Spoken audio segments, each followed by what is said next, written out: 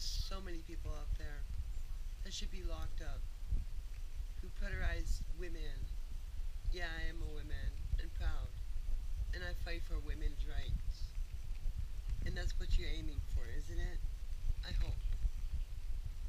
Equalism. Sexism. Racism. It fits in the same ballpark. There's people out in society get jollies out of just setting me up, videoing me, preterizing me, getting close to me. Because I go in direct traffic. Because I have a heart and a good motive, just like you. I hope to see you soon. I love to see your presence. Everybody has a certain power in life.